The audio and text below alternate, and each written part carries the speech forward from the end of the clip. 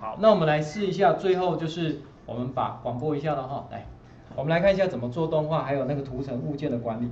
好，我们回到这边来，如果你想要管理一下我们这里面的，因为有时候东西太小，你不知道放在哪边，你可以从右手边这里有没有个图层？那预设的话呢，它会只有显示就是你目前这个视窗上看得到的范围的那些图层，这样了解哈？因为它全你这个视窗看不到，显示出来没用嘛。对不对？虽然你也可以把这个取消了，不过大部分我还是把它勾起来，这样会比较好找。那你找到之后，你看我们右手边，你要它点就点到它，有没有就跑出来了？你划过去之后可以选到它，反正你点到谁，就是叫谁嘛。不要了，是不是从这边删除也可以？也可以把眼睛关掉，你不要出来，有没有？哎，这样在管理图层上它是相对比较方便。那我们现在来看看，如果你想要做动画的话，好，比如说哎，我们现在这个进来。你看，我们先预览一下，这个一进来，目前是不是就直接进来了？但是其实我动画不会做太多，因为做太多有时候会觉得太抖擞。你你知道为什么吗？因为你不要忘记，我们现在整张纸都可以动。你又进来又太又太多动画，会让人家觉得好像要动很多，但又有点太过过动了，有没有？好，所以呢，我们点到它这里，你看上面这里有没有一个叫做动画？了解了，所以呢，我们就从这边进来了，它会进到另外一个模组，动画模组，那会有一个教学了哈，我就直接退出来就好了，反正知道就好了。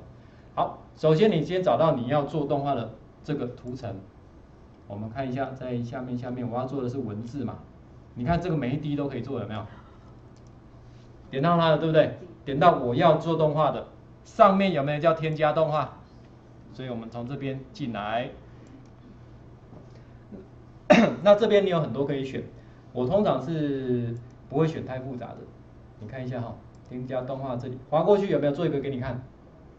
按掉看哈，会端央央央就好了嘛。好，所以我已经加进来了。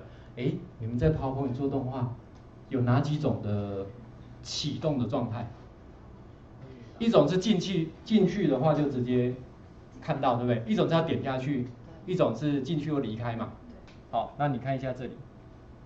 有没有看到这只滑鼠？这个是属于点一下才进来的，所以如果你不要的话，那你应该知道了吧？你不觉得都一样吗？好，所以假设我要跟着上个一起，好，那就这样。你也可以设定它的什么时间，有没有？动画的时间你要长一点、短一点。好，要不要 delay 一下？OK，做好了你可以退出。我们现在预览一下。因为我 delay 比较久嘛，对不对？所以是就慢慢进来，这样了解？OK 哈，所以它的动画就像这样子而已，只是我通常顶多在标题的部分做一下，啊内容就看情形，真的需要再弄，不然的话我会尽量就是到那边就好了，反正剩下我就解释啊，对不对？反正你要练习一下口才嘛，不是吗？把死的讲成活的也是算你厉害，OK。